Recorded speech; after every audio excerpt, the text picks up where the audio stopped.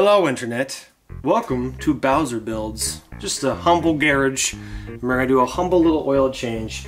And uh, while Bowser goes and gets apparently his one pair of gloves, I was gonna do this with him, but I guess maybe he'll do it and I'll help a little bit, but he'll be doing it. So I've had this bike uh, since uh, almost a year ago, and I've just put, I think, 5,000 miles on it, so it's time for an oil change.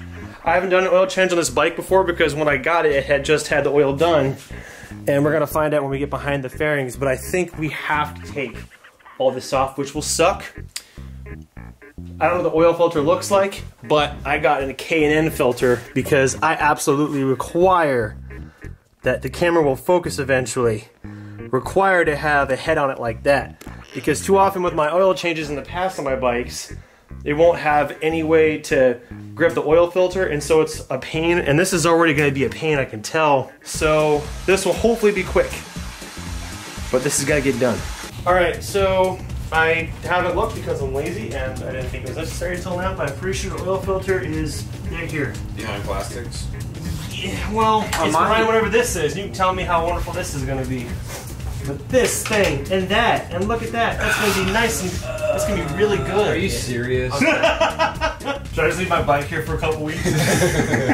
this shouldn't be that bad. I think I'll take the shifter pin here off, and then this will like swing down, and then we'll just take it off. if we could get a tool, Yep. and should we drain it first? Yes. We're ripping along the bottom, right? Do what? Rip, we're ripping along the bottom. Yeah, so there's one yaw, Yeah. and then there's one way up here, and then there's two on the sides. Oh, it's stripped. That's what it is. Oh, is it really? Yeah. That's the only. Pretty stripped. Putting a notch in it so I can get a screwdriver on. Oh, that makes sense. Yeah. All these little problems, one problem after another. Good job with that. So hopefully we have another one of these. No, it's it's useless. It's over. One last thing to put back in. Lightweight, bro. Weight reduction. Weight reduction. You go from glossy to Chain grease. yeah, I don't even bother cleaning that side because it's just too hard. if, you just, if you just got a can of like brake cleaner, it would come right off. Yeah, but then guess what would happen? You'd have to wash it. Guess what would happen after I cleaned it off? Uh, it'd get dirty. You got it! That's forward thinking right there. And that's why I got a black motorcycle, so I don't have to worry about it. Walter doesn't take baths. Seriously, if this bike was white, can you imagine how Oh no. atrocious that looks so gross. Okay, so I thought we'd have to rip off this whole side piece, but Reed was like, nah, we can just disconnect the bottom and then pull it out like you just did to get to the, the drainage. There you go, you can get to the drain, and then there's the filter right there. You can pull this up here too, and it'll get exposed. And he had to take this, disconnect it, but look at that. You're able to get it loose with just that clamp tool. yeah. That's lucky, because Channel, channel lock pliers. in the past, oil filters like that have been just stuck in there. Sometimes, yeah, I think on one of your bikes we had to just do the screwdriver trick where we pierced it with a screwdriver and pried it off. Yeah, I remember that. that it, we've had some sucky times, but hopefully this is the last hard oil filter I ever have to do. And by I, I mean you. because I'm just. there go. There it goes. Hot potato. Is that lined up underneath there? Yep, yep, yep. I don't. Oh, the drain? Yeah, the, the, the Sure. thing. It's uh, it's one of those. Uh, I was like, it doesn't look like it's those- lined up. It's one of those MC Escher drawings. Don't worry about it. There you go. It's gonna be beautiful and hot. Here comes really hot. Liquid. Oh, move the thing. Oh, you missed.